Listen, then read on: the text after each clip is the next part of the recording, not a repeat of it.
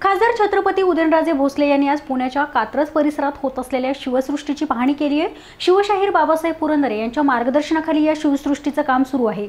सध्या देशाला छत्रपती शिवाजी महाराजांच्या विचारांची गरज असल्याची प्रतिक्रिया खासदार उदयनराजे भोसले यांनी दिली आहे. शिवसृष्टीला सरकार मदत करत आहे पण सर्वांनी या शिवसृष्टीला हातभार लावण्याची गरज आहे. शिवशाहीर बाबासाहेब पुरंदरे यांच्यावर टीका करणं योग्य नाही त्यांचं छत्रपती शिवाजी महाराजांविषयी काम खूप मोठं आहे. जेम्स लेन प्रकरणात जेम्स लेनला शिक्षा झाली पाहिजे. राज्य सरकार बांधणार असलेल्या स्मारकाचं काम कुठपर्यंत आलंय माहिती नाही पण शिवस्मारक झालं पाहिजे अशी प्रतिक्रिया खासदार उदयनराजे यांनी दिली आहे.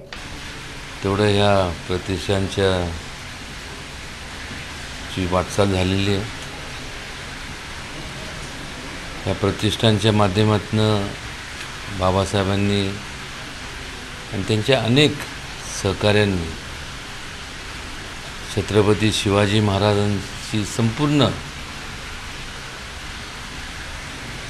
आयुष्यात आयुष्य हे जाणता राजेच्या माध्यमातून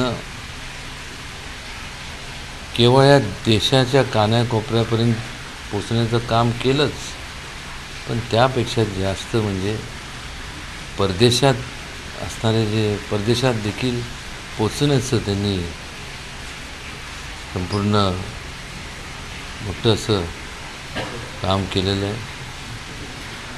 आज खऱ्या अर्थाने या संपूर्ण देशाला जर जर एकत्र जर काय ठेवू शकत अस ठेवू शकणार तर फक्त छत्रपती शिवाजी महाराजांचे विचार.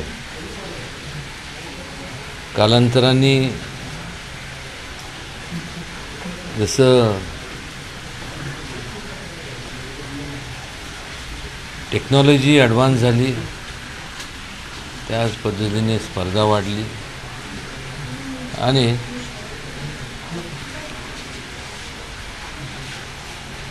झालं हे चांगली बाब आहे. पण त्याचबरोबर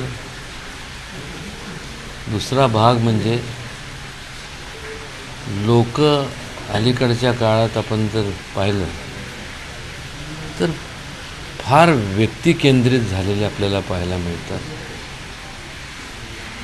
म्हणजे स्वतः पलीकडं विचार करणारे फार थोडे लोक राहिले. आणि हे लक्षण काय एवढं चांगलं आहे असं मला वाटत नाही. किंबहुना धोकादायक आहे. यापूर्वीची पिढी जर आपण पाहिली आपल्या अगोदरच्या. तर त्यावेळेस समाजाला प्राधान्य देत होते. आणि स्वतःला शेवट प्राधान्य द्यायचे.